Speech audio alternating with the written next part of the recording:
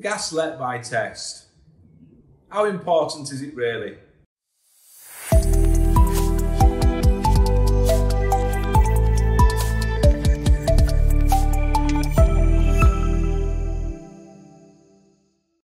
My name is Richard Firth. I'm in one of the extensive workshops here at Viva Training, and I've got a very special trainer for you to give you the lowdown on the let by test. No further ado, I hand you over to Pete Indle. Thanks for that, Richard. My name's Pete. Welcome to Viva Training. Good morning, good afternoon, good evening, depending on when you're watching this.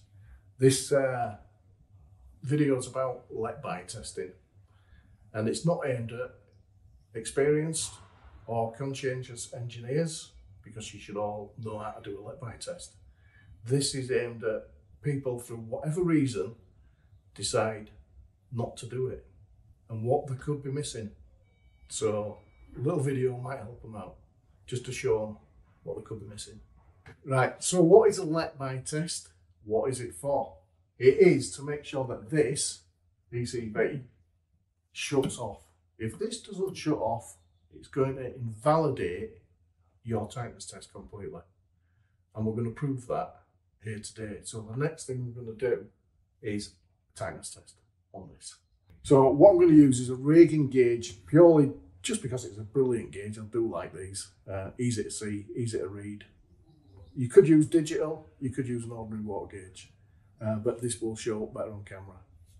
So what we're going to do is our first test, which is a let by test. It only takes 60 seconds to do a let by test. Why people don't do it, I just don't know, because 60 seconds is no. We need to connect gauge up. Screwdriver.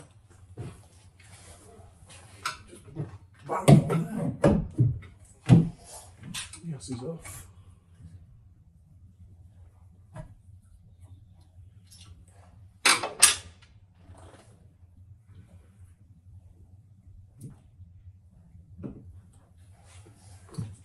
between 7 10 millibars.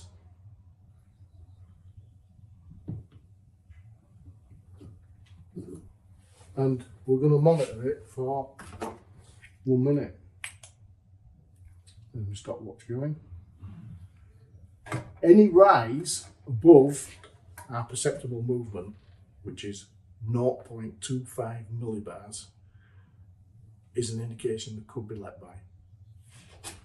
So after a minute, we'll have a look at this, and I'm at about nine and a half, nine and a half millibars.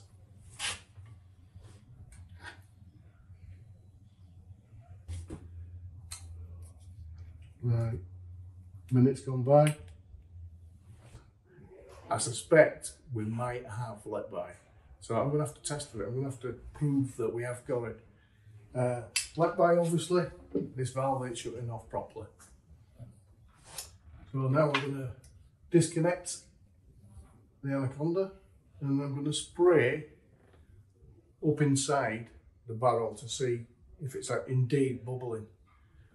But the first thing before I do that, there's probably something that not everybody uses, but they should do, is I'm going to connect these. They're not nipple clamps.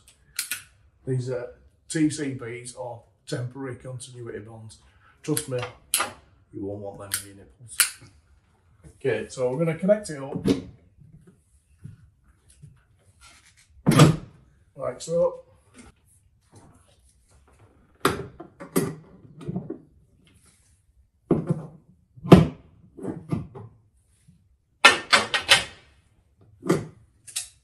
So anyway, don't need to be mega, mega, mega tight. Just tight enough not to leak. Right. Take a new, put a new washer on it when I'm done. Right, so I'm going to spray it up inside this barrel here and take a look at it and see if we can see it all bubbling.